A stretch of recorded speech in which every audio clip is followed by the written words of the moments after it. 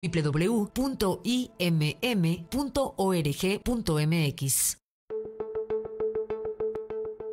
A continuación, Libros a la Carta.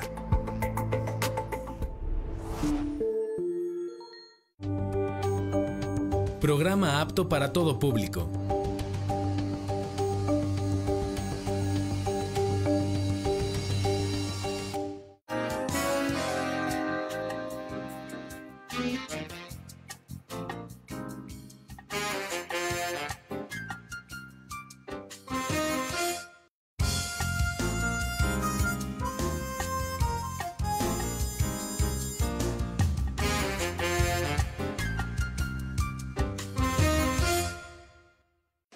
El día de hoy me encuentro en Cuautla, Morelos, en el restaurante Misión Cotija, donde usted podrá degustar de un buen cabrito, una parrillada o una carne asada con una salsa molcajeteada en un ambiente completamente saludable, natural y acompañado de su familia.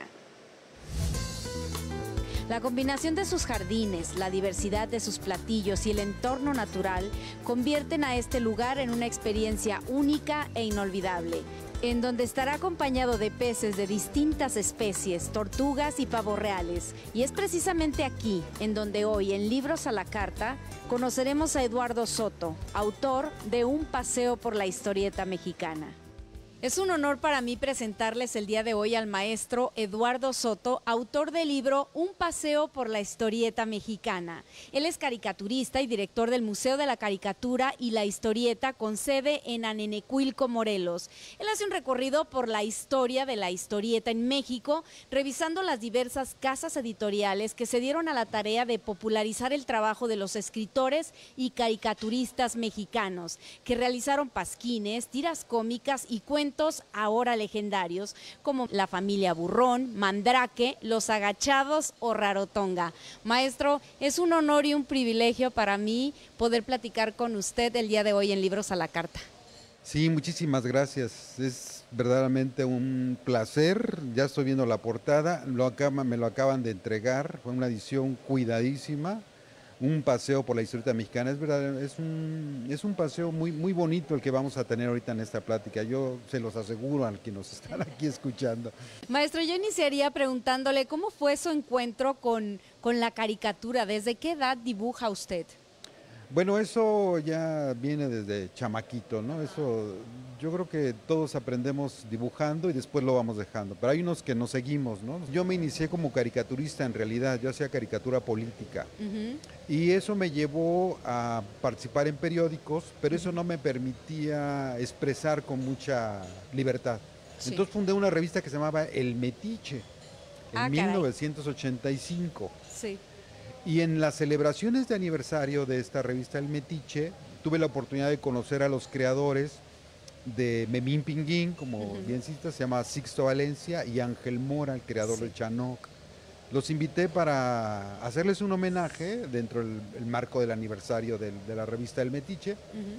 Y a partir de ahí, el año siguiente, fundamos el museo porque en este homenaje que les hicimos nos donaron muchos originales, revistas, dibujos, portadas. Y entonces este, yo dije, esto tiene que estar en un museo, esto lo tiene que conocer la gente, tiene que verlo. Y entonces me puse a investigar dónde estaba el museo y resulta que no tenemos museo de la historieta en México.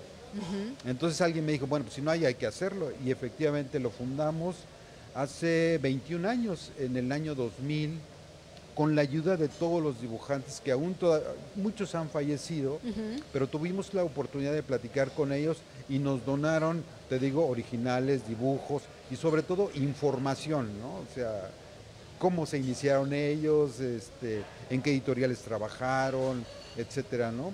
Entonces, todas esas pláticas están concentradas precisamente en este libro. Y este libro tiene una historia muy interesante. Este libro lo, publicaron por primera vez en Argentina. ¿En qué año?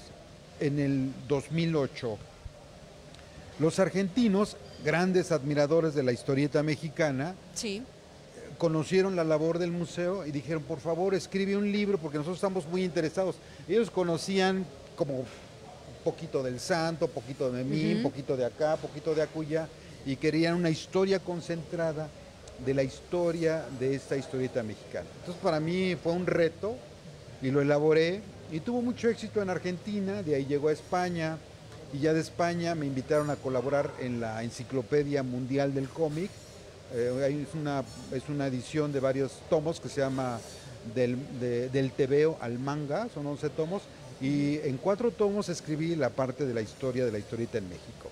Entonces es la primera vez, este libro ya, ya recorrió Sudamérica, España, y ahora lo podemos tener en México. Entonces es muy importante esta, esta edición y esperemos pues que, la puedan disfrutar, ¿no? Eh, no sé, comuníquense con la Secretaría de Turismo y Cultura, que es los que lo hicieron, pero nosotros mantenemos, este libro nosotros además lo hacemos también artesanalmente nosotros en el museo.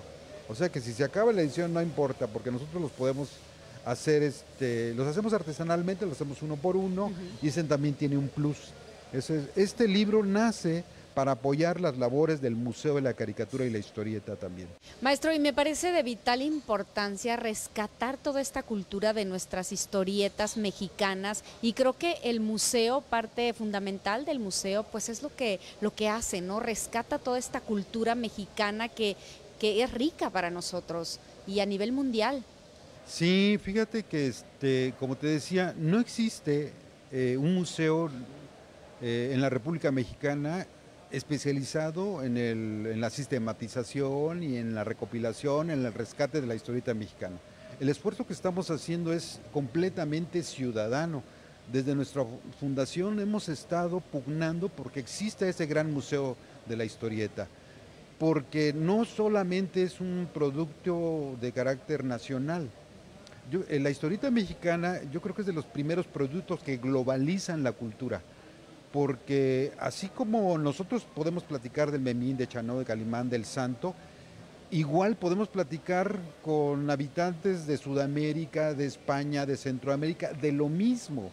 Entonces, fíjate, hay una cosa muy interesante, en la época los autores no sabían eso, porque los editores no les querían pagar sus, sus, este, sus derechos ¿no? autorales. Entonces ellos, ni, ahora con esto, todo esto del Internet, muchos de los autores entraron, o sea que soy muy popular en Argentina o en Chile, y este, ¿cómo no lo supo en el momento para... sí, entonces ahorita esa es una de las ventajas también del Internet que nos están este, hermanando y podemos platicar, te digo, de lo mismo de las historietas mexicanas. Entonces llegan esos que eran niños, llegan a México buscando dónde está Santo, dónde está Calimán, dónde está este Tagua de Perú, tenemos, hay grandes lectores de Tagua en el Perú las visitas guiadas las hacen los padres porque van con su hijo y le dicen, mira hijo, ¿te acuerdas que yo te decía que había un señor que tenía una capa y un turbante y, una este, esmeralda que tiene acá? Ese es Calimán, aquí está Calimán. Entonces el museo es una parte importante para hacer esa interconexión, ¿no? Porque a veces este, muchos platican, pero los niños no tienen a la mano, no tienen un memín, no tienen un fantomas, no tienen... Porque estamos hablando que se ha perdido un poco, porque en los años 50, en los años 40, pues estaba en pleno apogeo, todas estas historietas eran muy famosas y cada vez se han ido perdiendo más. Entonces, la importancia de, de rescatar esta cultura, ¿no? Para que, de generación en generación, para que los más jóvenes, los más chiquitos, pues tengan conocimiento de todos estos personajes culturales que tenemos en México. Fíjate, a mí me pasó con mi mamá. Yo era un niño en el 64 cuando aparece el número uno de Memín. Entonces yo le dije, mamá, cómprame el Memín. Ya me compró el Memín. Y yo le quise platicar la historia de Memín y mamá. Y me dijo, esa historia yo ya me la sé. Le digo, ¿cómo? Si acaba de salir, es el número uno. Dice, esa historia ya se publicó hace 20 años en otra revista que se llamaba El Pepín. Y es la misma historia. Entonces, eh, y entonces ya me empezó a platicar que ellos leían diarios de historietas. Y nosotros leíamos semanarios, ellos leían diarios que tenían 60 páginas y tenían historias continuadas. O sea, los niños de los 40 y 50, un niño estaba leyendo diariamente 10 eh, novelas gráficas por entregas. Imagínate lo que era un niño de esa época. Entonces, esa tradición de la lectura y de la creación de personajes, de historietas, continúa cuando a mí me toca, que son los 60s y 70s.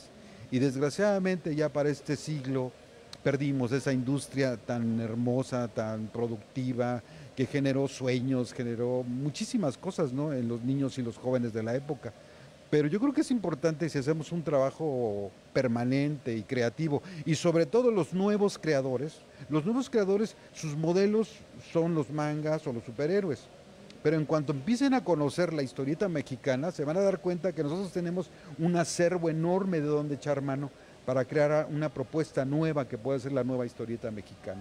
Que precisamente me parece tan importante este libro que es un recorrido por la historieta mexicana, ilustrado con grandes personajes, con grandes historias, que de alguna manera, bueno, estamos retomando toda esta cultura, todo este acervo que tenemos aquí en México, lo cual me parece maravilloso y, lo felicito, maestro, por este gran trabajo que usted ha realizado a lo largo de muchos años, porque Supongo que tiene varias obras también. Sí, afortunadamente, eh, bueno, hubo un proyecto aquí del PECDA, del FONCA, donde nos van a ayudar con una beca para catalogar eh, parte de nuestro acervo. Yo creo que ahorita el acervo debe, debe de consistir como de 10 mil piezas, entre dibujos y ejemplares. Entonces ahorita la beca que tenemos nos va a servir para catalogar 1.200 piezas, 600 de dibujos, portadas, dibujos de interiores y 600 de ejemplares. Entonces va a ser este, algo muy interesante porque nosotros pues somos un grupo ciudadano, o sea, nosotros no teníamos ni idea de que teníamos que catalogar toda la obra. Y además nos llegaban cajas de, donaciones y entonces ahorita ya tenemos esa oportunidad de que formalmente ya podamos saber cuántas historietas tenemos, de qué autores, de qué años, y ahí se va viendo la evolución también, cómo, cómo, cómo fuimos perdiendo la historieta, porque cuando empezaban eran enormes, costaban 10 centavos, después costaron un peso, después fueron haciendo las historietas cada vez más pequeñas y más caras. Y entonces también los editores, también esos editores tienen algo que ver con el que se acabara nuestra historieta porque empezaron a ponerle obstáculos a la creatividad. Entonces ellos querían tener los derechos autorales y entonces en las historietas ya se notaba que no eran, eran, eran contratados para escribir sobre X historieta o para dibujar sobre X historieta, ya no era su creación. Entonces eso también este, devino un poco en que nuestra industria se viniera pues abajo prácticamente, porque ahorita en los puestos de periódicos ya no tenemos historietas. No. No, no, no, muy poco. Definitivamente sí es una cultura que tenemos que rescatar. ¿Y qué podemos encontrar en este, en este libro, maestro? Pues Para historias. Todos los que nos están viendo y escuchando en son estos historias momentos. emocionantes, porque te digo, leer diarios de historieta, eso nada más se ha dado en México. O sea, ni en Japón ni en Estados Ajá. Unidos ha habido diarios de historietas. Otro dato importante que aparece aquí en el libro es que México es el creador de los superhéroes. O Sí. sea, Superman nació en 1938 y en México desde 1936 ya teníamos a los O sea, el, el- concepto del superhéroe es muy mexicano. O sea, Pues sí, eh, tenemos al santo, tenemos a Calimán. pero además el santo es un héroe que se podía, lo podías saludar, lo Sí. podías ver y, y- y, bueno, a Superman pues, es, un actor X, pero México también creó una cosa que se llama el fotomontaje. Ahorita todo el mundo utiliza el fotomontaje. Utilizan fotos y luego le pones ahí un dibujo. Eso lo inventaron los mexicanos, por cierto, este, ah, pues de es, es de tu tierra, de Es de mi Guadalajara. tierra, mi Cruz paisano. fue el que inventó el fotomontaje. Eh, la historieta del santo es un fotomontaje, es una combinación de dibujos con fotografías. Ese sistema que después va a dar origen a la, a la fotonovela fue inventado en México. En este libro viene ese tipo de históricas del, del aporte que ha hecho México al cómic mundial. Entonces, por ejemplo, en México también nace la primera revista política con Rius, o sea, toda esta, ¿te acuerdas de la masacre Sí. terrible del 68? Por supuesto. ¿Quién, Rius ya quién estaba haciendo eso? una historieta antes de la masacre y que salía en los puestos de periódicos, ya estaba hablando de las manifestaciones de los jóvenes y es prácticamente la primera historieta política que puede estar en un puesto de periódicos en el momento que están sucediendo las, las este, pues este, este tipo de movilizaciones. Entonces, ese es otro aporte de la historieta mexicana. Entonces, por eso te digo yo, México tiene un potencial para enriquecer el cómic mundial o la historieta, que es lo mismo, Sí. sí podemos echarle una mirada retrospectiva a la historia de la historieta mexicana. Por eso este libro es muy importante. Muy importante, maestro. Coincido con usted, un paseo por la historieta mexicana y hay que invitarlos a que, a que lo lean, a que lo adquieran. Por supuesto, agradecer al Fondo Editorial del Estado de Morelos y este, estos libros los pueden obtener llamando al 777-329-2200, extensión 1016, o también puede escribir a publicaciones arroba morelos.gov .mx para que pueda obtener sus libros, empaparse de toda esta cultura mexicana que se ha perdido un poco y hay que rescatarla, Sí, maestro. tenemos, es nuestra obligación. Es nuestra es justo obligación. y necesario, diría. Es justo y necesario y forma parte esencial de nuestra cultura mexicana. Sí, claro, definitivamente.